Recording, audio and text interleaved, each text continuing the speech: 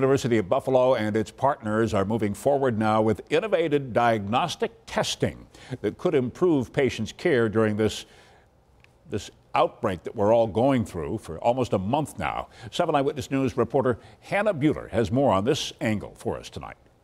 This is going to be used as a tool to get people back to work, get people back to school. It's likely the next phase in the COVID 19 crisis, reintegrating people into everyday lives.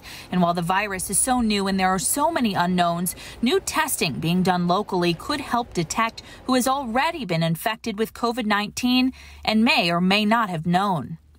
We're trying to deliver an accurate solution. Kevin Lawson is the CEO of KSL Biomedical. The company is working with the University at Buffalo and Kaleida Health on this new initiative. This lab here at KSL is usually used for cancer testing, but will soon be transformed to a COVID 19 testing site, specifically testing for who has immunity to the virus and who has already been exposed. And Lawson says that's what they're looking for. He says the antibodies start to produce on roughly day eight of a COVID COVID 19 positive patient in order to fight off the virus, and they stay in a person's system. If that patient has elevated antibody levels, the person was infected with COVID 19, whether they had symptoms or not. You may be asymptomatic. Um, you may not have even known that you had it, but that doesn't stop your ability to pass it on to somebody else. Lawson says the lab will be able to perform more than 160 tests per hour with equipment provided through a partnership